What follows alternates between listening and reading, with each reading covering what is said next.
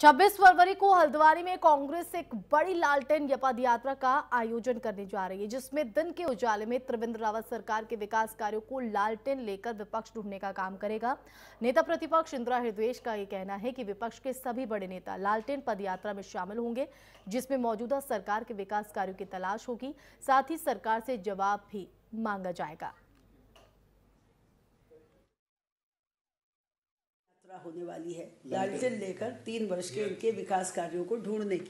ये आपके हल्द्वानी रामलीला मैदान से शुरू हल्द्वानी एक एम का मैदान है बड़ा मैदान है। वहाँ लोग इकट्ठे हम लोग अभी दस से बीस हज़ार लोगों के साथ एक कुमायूं के क्षेत्र में पद यात्रा निकाल रहे हैं। लालटेन लेके विकास कार्य ढूँढने निकलेंगे।